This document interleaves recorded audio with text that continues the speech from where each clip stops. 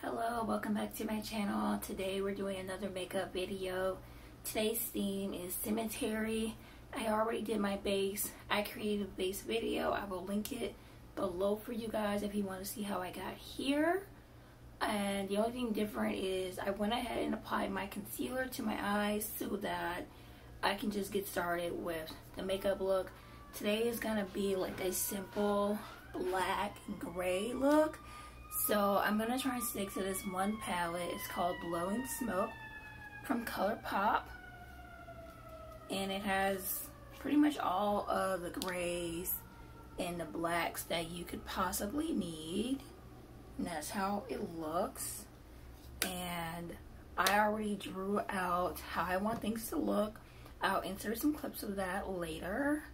But yeah, I'm just going to be using the black blowing smoke palette. I have a mirror right behind my phone. This is all reared up to that. But I'm going to be using the mirror here just so I can get a closer look and see like what I'm doing exactly. I usually do a darker cut crease and work my way up starting dark to light but because I want this cemetery look I want the black um, I want the gray liners that I'm going to be using today to stand out in contrast so it's actually going to be like a darker cut crease and then like a lighter it's going to be a, a light cut crease but like a darker base kind of do like a smoky eye thing. Like we'll see how that turns out and how I want things to look. So I'm going to be starting off with this tiny little round brush to do my black. Actually, I'm going to do a gray, a really dark gray. And that's what I'm going to use to kind of line where I want things to be. At, and I'm just loosely creating that shape that I want. It's okay if it's a little bit messy because I'm to blend it out. I went ahead and I blended everything out. I started with this shade and then I blended it into this shade and then I blended that into this shade and then as for like around this cut crease area I dabbed a little bit of this glitter and then I added a little bit of this glitter here and that's why there's just a little bit of shimmer. But I didn't want to add too much because I didn't want to take away from the pigment that I already laid down and now I'm just going to do a darker base blend it in my cut crease. So I went ahead and I blended my eyes out with three different glitters. So right at the beginnings I'm using this light glitter. And wait this is in the middle. This one's at the beginning. This one's at the end. So that's why you see like a nice little transition. And then I went ahead and used Sugar Pill Sleepwalker pressed eyeshadow this shade here and this is what it looks like when open like this is how it looks it's a shade that I mainly use as a highlight but I went ahead and added it to the corners and right now I am taking this shade in the BS. It's called Flashing. So this right here is what I'm using in my under eye waterline. And this is the type of brush that I'm using. Okay, so I went ahead and did this eye first so I can walk you through this process. You have like a point of reference as to like what to expect this to develop into. I'm using Glamierre line arts. So for my gray, I'm using Smoke. For my lighter gray, it's called Frosty. It's more like a metallic silvery color. And then for my white highlights and stars and moon and all that, I'm using Mist. So that is what I'm using today. I just got this body painting palette because I wanted to experiment more with some Halloween looks and play around with some face painting stuff. And I'm using this palette. I'm not doing any type of body painting today, but I did go ahead and use this black to get my bats in because the darkest shade I have is smoke and smoke is a dark gray. It's not quite black. So this is what I'm using for my black today. Um, I'll show you guys some face painting videos later but today the focus is mainly on the eyes. So this is what we're looking like I drew some headstones, a tree, a bat, a moon, some stars. Like I wanted it to look like a foggy cemetery. So that is what I'm doing.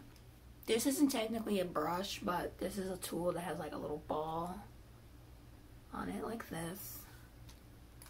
And then these are the main brushes that I'm using. This one, I feel like this type of brush is essential to get that nice swoop action that I like to get. And these two brushes are like essential to get this. So these are not nail art brushes, they're like fine detail art brushes.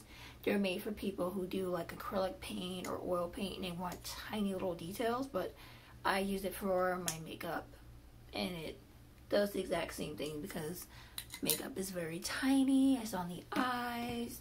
I have to be able to get those really nice fine details that traditional makeup brushes do not allow me to get.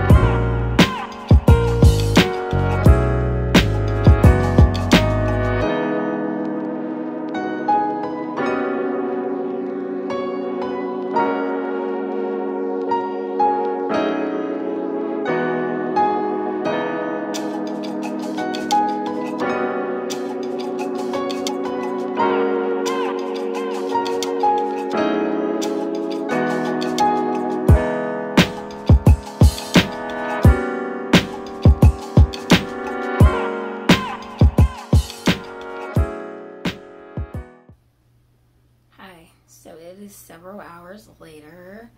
I did a time lapse of me doing this, but this is the final look on this eye. I went ahead and uh, went over this with a black. I went over the gray with the black as far as like my cut crease goes with my lines. And over here, added some white and some, uh, added white and frosty for my highlights and that's pretty much the look. The only thing left to do is for me to put on my eyebrows. I'm not going to do any freckles today because I feel like I like the freckles that are colorful. Black freckles, I don't know about that. Like black, gray, or white freckles, I'm not sure how that will look or if I would even like the way that would all come together. But I'm going to put on my brows, my lashes, and finish my lipstick to do a whole completed look and I will be back.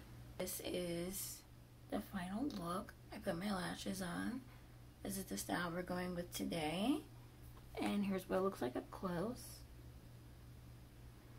Now for the bats, I did use this face paint because I didn't want to run through my eyeliner so much and I wanted to use like more detailed brushes to get like the pointy lines that I wanted. I did not put on setting powder after doing that to help make it matte and I did smudge it a little bit. I fixed it a little bit but it's still not how it was when I first did it. But I'm still happy with the way it turned out, and this was a fun thing to do. I hope you guys enjoyed this video. Thank you so much for watching. Bye.